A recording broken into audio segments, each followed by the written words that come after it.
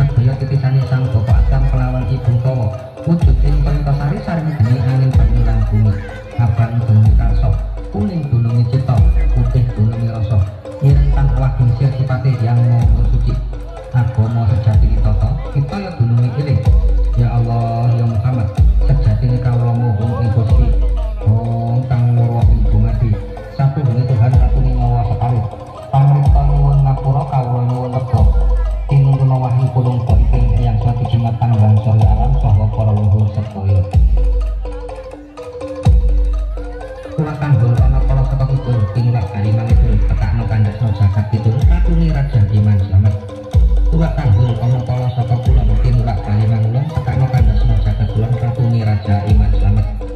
Tak tanggung ono kalau sokok lo, inulah.